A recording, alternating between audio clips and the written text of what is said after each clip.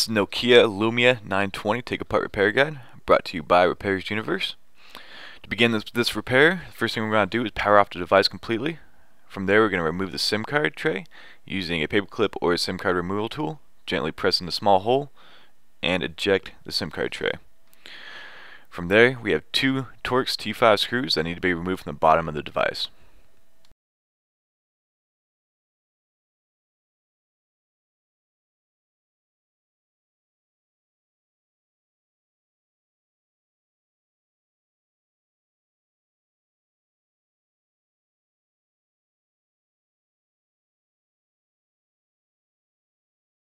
These two screws now removed, we're going to use the Safe Open Pry tool. Starting near the bottom of the device, gently lift back the back cover. The cover itself is pretty malleable, so just apply a little bit of pressure. Once you get a grip, you can then begin separating the sides and releasing the back cover from the full device.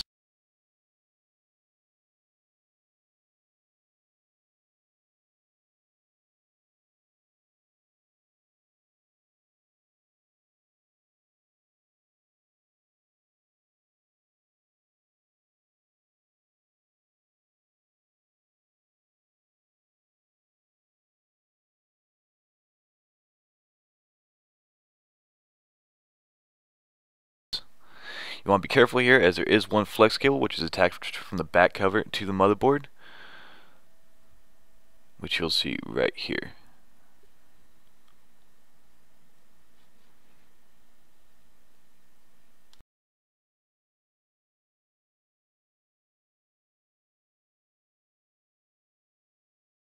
We're just going to gently place the back cover right next to it so we can work on releasing this connection. There is a small metal plate covering both of these connections here on the motherboard. Best thing to do is use a safe open pry tool and gently pry up near the top as there are two tabs holding in place. As you can see when we release the plate, the pop connector became released at the same time. Normally this will stay in place and you'll just need to use a safe open pry tool to release it.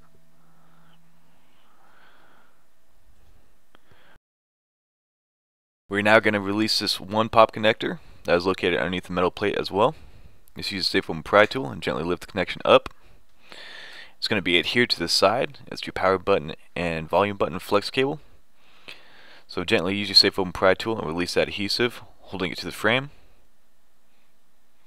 Once you get a decent grip, you can just kind of pull it all the way off the housing.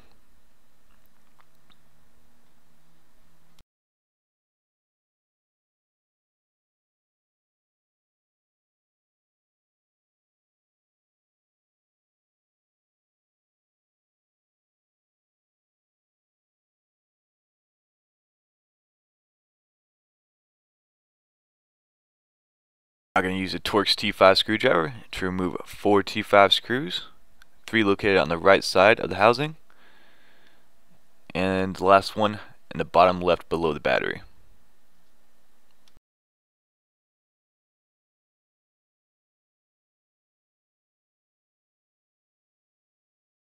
Screws removed, we're now going to use the safe open pry tool and release this metal bracket holding the battery in place.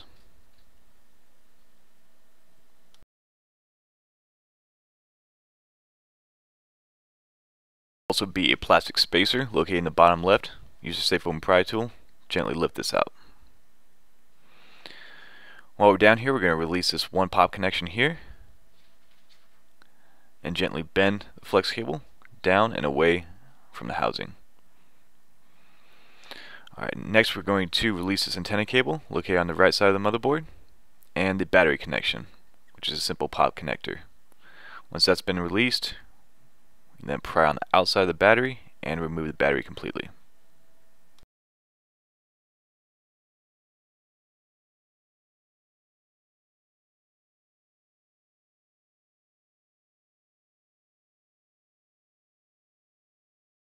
Now, using a Torx T3 screwdriver, we're going to remove three T3 screws.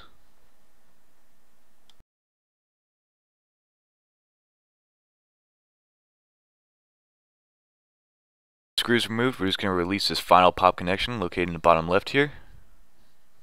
And we're then going to remove the mid frame with motherboard attached to it. To do this, we're going to use the Safe Open Pry tool and pry this seam right here. You're going to want to be careful here as there are multiple clips holding in place.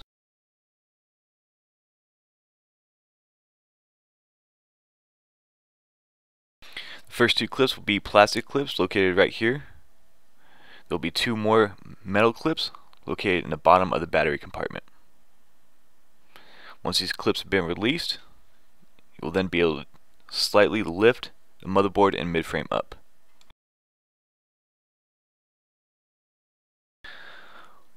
Once the midframe and motherboard are loosened, you will be able to gently lift up and slide it to the right, being careful as the housing is overhanging on the left side of the motherboard.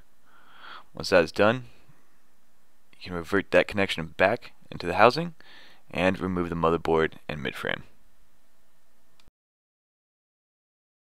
From here, all you'll need to do is heat the back and the front of the screen assembly using a heat gun or hair dryer. Be sure to use medium heat, about 2 to 3 inches away from the device, using constant movement around the outside edges. This will warm the adhesive holding the screen assembly in place.